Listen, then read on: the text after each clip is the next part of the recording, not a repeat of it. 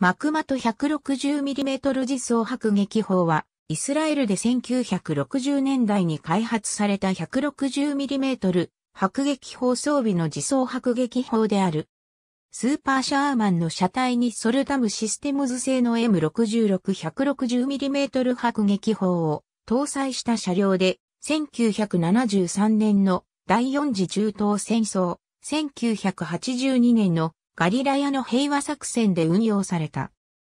名称のマクマとは、ヘブライ語のマージョマクベダミナヤと、自走銃迫撃砲という意味の語のアクロニムで、本 160mm 自走迫撃砲のほか、M3 ハーフトラックにソルタム M65-120mm 迫撃砲を搭載した 120mm 自走迫撃砲もマクマトと呼ばれる。イスラエル国防軍では前述のように1950年代から60年代にかけて M3 ハーフトラックに迫撃砲を搭載した自走迫撃砲を運用していた。一つはアメリカ軍の M4 自走迫撃砲、M21 自走迫撃砲と同等の口径 81mm の迫撃砲を搭載したハーフトラックマーク C で、もう一つがソルタム M65-120mm 迫撃砲を搭載したハーフトラックマーク D、別名マクマトであった。160mm 自走迫撃砲はこれらの後継機種として第三次中東戦争後の1968年、ないし69年頃に開発された自走迫撃砲でカミンズディーゼルエンジンを搭載した後期型スーパーシャーマンの車体をベースにソルタム M66-160mm 迫撃砲を搭載している。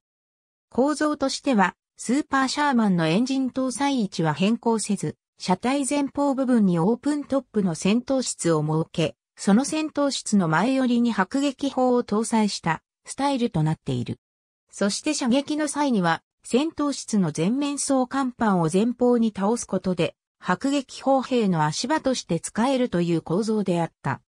操縦席も本来の位置、つまり車体の左舷側前方から移動していないので、戦闘室内の迫撃砲座のすぐ横に、剥き出しの操縦席があるという構造となっている。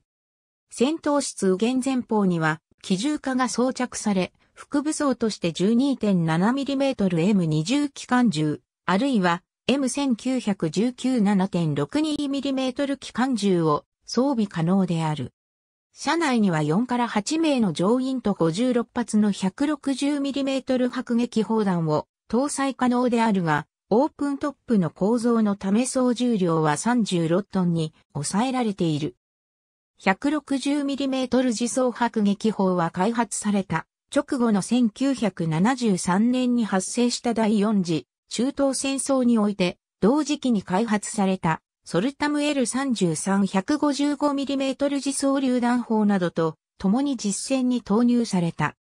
1982年のガリラヤの平和作戦にも投入されたとみられるが、その後は M113 装甲兵員輸送車をベースとした自走迫撃砲に更新され退役している。現在、イスラエル国内のラトルン戦車博物館、イスラエル国防軍歴史博物館及びイスラエル砲兵隊博物館に実写が展示されている。ウィキメディアコモンズには、マクマト 160mm 自走迫撃砲に関するカテゴリがあります。ありがとうございます。